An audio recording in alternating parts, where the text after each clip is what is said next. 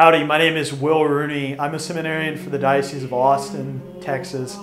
I'm from College Station, Texas. I grew up there with my family, two younger brothers, mom, dad, grandparents are in the area as well. And my vocation story really starts at home. My mom and my dad, my grandparents, all gave me the gift of faith. They took me to be baptized and they took me to, uh, to RE and to Mass every week. And we weren't anything out of the ordinary. We were just a, a good Catholic family. Uh, got involved with youth group and things when I was in high school, and that really augmented my faith. Uh, it built up my faith in a way um, that I, I was able to receive that gift from them, and, uh, and now I can give back because of that gift of faith. So, when I was in high school, I had this amazing experience with God's mercy, which kind of led me towards uh, the priesthood in a real way. I went on a retreat my ninth grade year. Uh, it was put on by the seniors and the core team there at the, uh, the, the, youth program that I was involved in at my home parish, St. Thomas Aquinas. And the, the retreat was called Road to Redemption. Road to Redemption was uh, an amazing experience and it was an experience that I didn't even want to go on at first, but my mom kind of pushed me into it. And she, uh, she got me there. Uh, and on Saturday night, I had this amazing experience with our Lord in Eucharistic adoration. And not only Eucharistic adoration, but I was able to go to confession for the first time in a long time. One thing that my family didn't really do on a regular basis was go to confession. And so, seven years after my first confession, I hadn't been to confession in all that time, right? Um, so, that night, in front of the Blessed Sacrament, I just felt moved to go towards confession.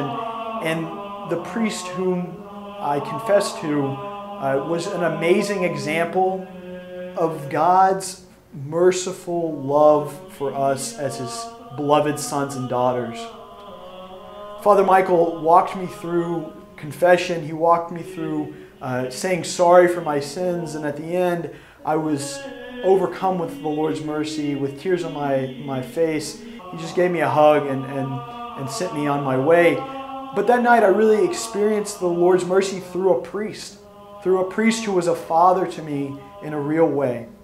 And I think that that led me, that put me on a path towards thinking about priesthood.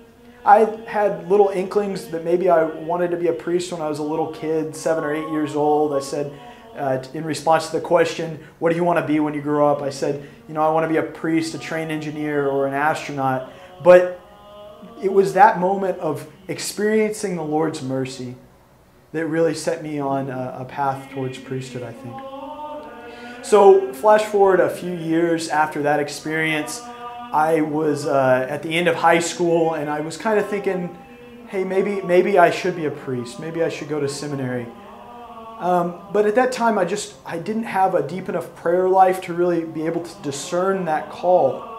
And so I got some great advice from a, a, seminarian, a seminarian then, a priest now, Father Tom, who told me, Will, you've always wanted to go to Texas A&M University. So uh, go to A&M and stay close to the Lord. He was an Aggie too, so there might have been some vested interest there. But uh, I went to A&M and I threw myself into everything that was there. I, I got involved on campus. I also got involved in the, uh, the campus ministry there.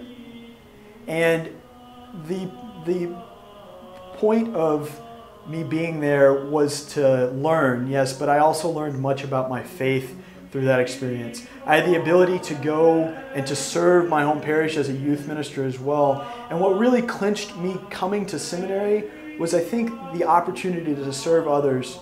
When I was able to serve others, especially through middle school youth ministry that I did, I recognized that I loved preaching the gospel. And even on the bad days when I was working at the parish, it was an amazing experience to be able to share God's love with the people of God.